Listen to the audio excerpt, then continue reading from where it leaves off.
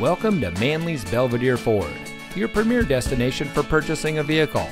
And here's a look at another one of our great vehicles in inventory and comes equipped with keyless entry, alloy wheels, tire pressure monitoring system, electronic stability control, air conditioning, traction control, fog lights, side airbags, CD player, power windows, and has less than 80,000 miles on the odometer.